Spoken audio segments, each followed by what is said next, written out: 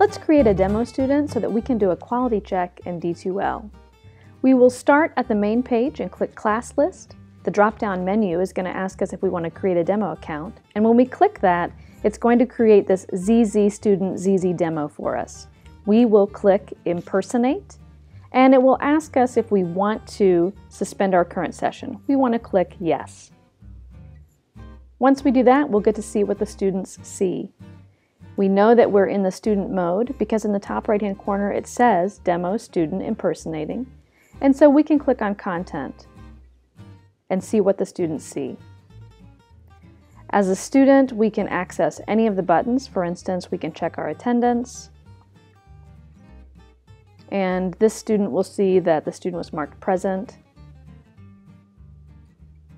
and can access all of the pages as a student. So we might look down here at the content and see uh, what's been updated in week two. Click on the page. Now we can see what it looks like for the students. And then to log out, we click on that again and X out the demo student. Now we're back at our regular page, and this allows us to do a quality check for our students. Good luck!